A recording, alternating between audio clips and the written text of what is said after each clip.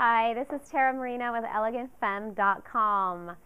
I want to talk to you about something today that recently came up. One of my clients asked me this on Monday, and it's such an important question because throughout my journey and really throughout my life, when things really started to pick up for me, is when I was making sure that this one component was critical in my life.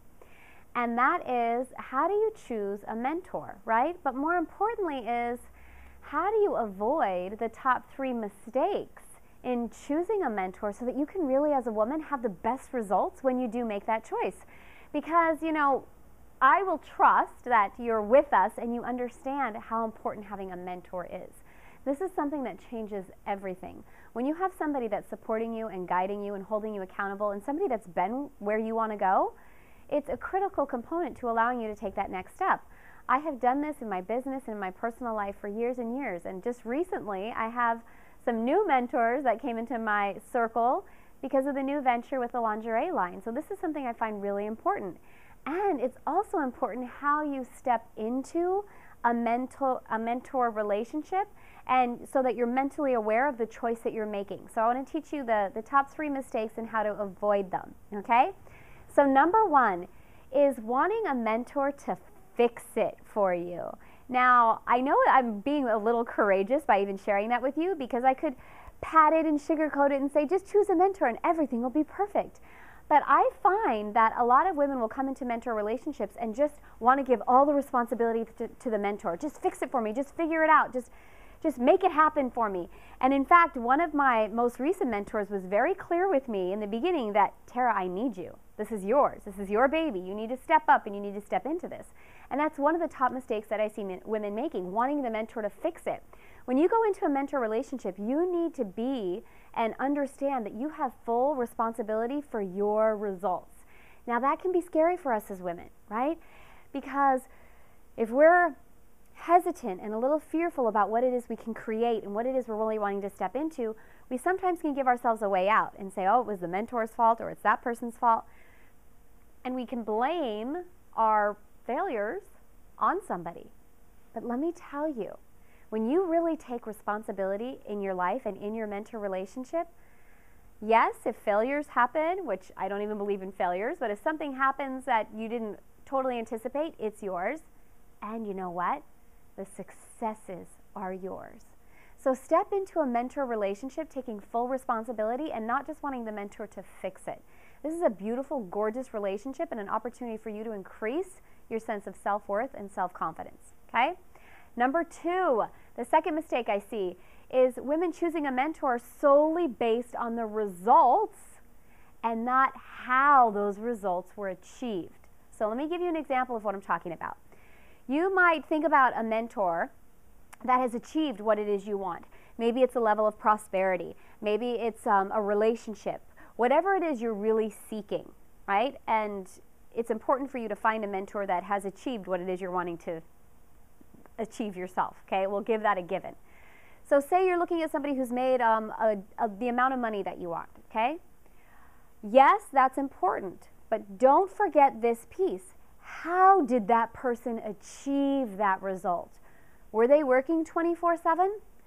Did they have a team of 50 people? Did they um, have a, a, home office and, and uh, and that's the way they did? Did they have a big, huge office?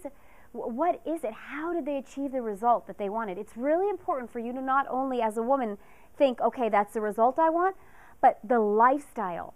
How did they achieve it? I'm really, really in tune with this for myself. I've built my business in a way that's really congruent to the truth of who I am. I'm a wife. I'm a mother. I love elegance. I love beauty. I love ease. I love travel. These are pieces I've incorporated in my business. And I can't tell you how many women will come to mentor with me and say, Tara, I chose you as my mentor because you're a wife and a mom, and I know you get that. Or because you travel the world, and that's what I want to do. Or because you, you really believe in beauty and elegance and grace, and I, I'm into that. How can I do that? So it's not just the result, but it's how can I achieve the result in the way that I want to. So it's really, really important that when you're looking for a mentor, you ask those two questions. Is that the result I want? Okay, good, check. And how are they achieving it? All right, because it's really, really important. All right? Now, the last one, and this is another really big mistake, and we, we tend to do this. Um, we tend to do this. So let me let me tell you what that final mistake is. Choosing a mentor that feels overly comfortable or easy. Now let me explain to you what I mean. Yes, it is important that you choose a mentor that you can um, find comfort and confidence in and share your truth and be able to communicate, okay? However, it's also very important that you choose a mentor that is going to challenge you and stretch you and assist you in growing. And that doesn't always feel comfortable. So I can't tell you how many women I know that have chosen a mentor because it felt easy, right? That woman's not really at the, the ultimate level of success that I want to be at, so I'm, I'm sure she's not going to hold me that accountable. Or, or another thing that has to do with comfort is the level of investment, right? Choosing a mentor that it's really easy to afford. Now, I'm not saying I want you to choose something you cannot afford, okay? Uh, although there's a lot of energy around that choosing something that feels extremely affordable, no problem, you're not stretching, okay? What you can afford in your life right now is what you already have. If you're wanting new results and you're wanting a greater vision, it's going to require you to grow and stretch, and it might require you to grow and stretch your level of investment from what you currently feel you can afford. So when you're choosing a mentor, I want you to feel into all right, is this person, do I feel a little bit uncomfortable? You should feel a little bit uncomfortable. You should feel a little bit nervous. When I'm about to step into a big mentor relationship, it's not like, oh, no problem. I feel like, whoa, here we go.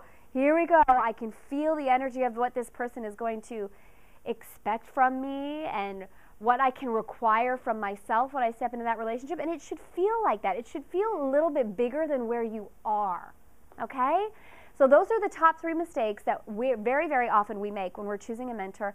And I want you to choose a mentor. That's a given. And I want you to step into your mentor relationship so that you as a woman can get the best results that you can from that relationship. So I want you to leave a comment below. And I want you to leave a comment regarding why it is you haven't yet stepped into the mentor relationship that you know you're supposed to. Leave a comment below and let me know.